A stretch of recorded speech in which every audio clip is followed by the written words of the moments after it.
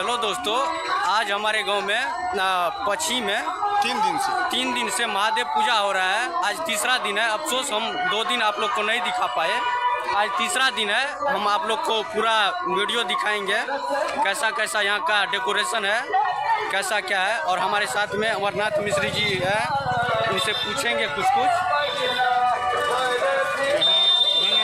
यहाँ पे जो है पश्चिम में चामुंडा स्थान में तीन दिन से लग रहा है मेला। चलिए हम आप लोग को दिखाते हैं। यहाँ पे विभिन्न प्रकार का उत्सव मनाए जाते हैं। जैसे कि प्रोग्राम नाइट प्रोग्राम भी होता है यहाँ पे और झूला सब कुछ यहाँ पे है। चलिए हम लोग को हम गाँव में मेला जो लग रहा है उसका व्यू अभी हम आप लोग को दिखा रहे हैं। की सीमा अब जाती रही। आज मेला का तीसरा दिन है। दो दिन अफसोस हम लोग नहीं दिखा पाए।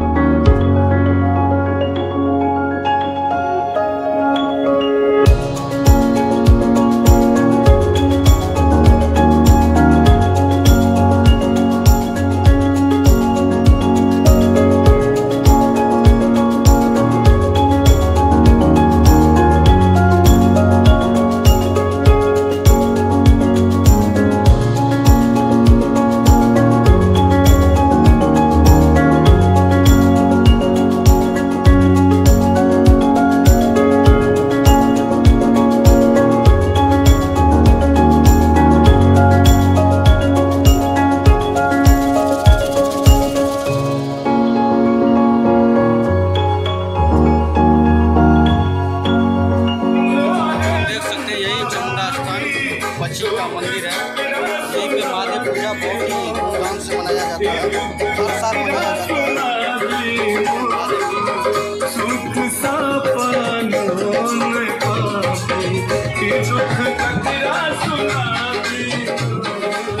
और अभी अभी हमारे साथ जुड़ेंगे अमरनाथ मिश्र जी उनसे यहाँ के बारे में कुछ फैक्ट वगैरह पूछेंगे और उसका जवाब देंगे अमरनाथ मिश्र जी।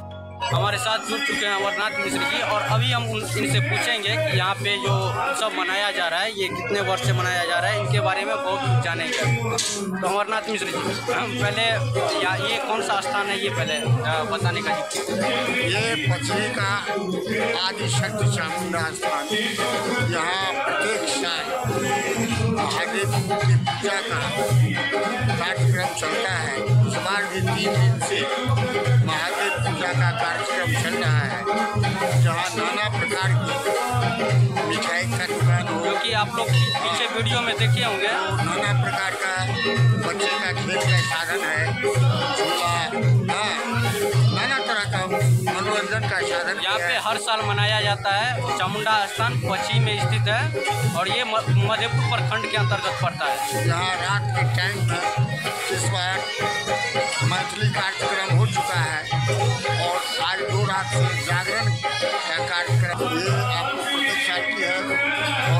चामुंडा स्थान आदि शक्ति है। यहाँ समझिए कि जो कोई अपना मनोकामना लेके आता है, उसका मनोकामना सिद्ध होता है। ये पची गाँव, मधेपुर थाना, जिला मधुबनी के अंतर्गत धन्यवाद। धन्यवाद।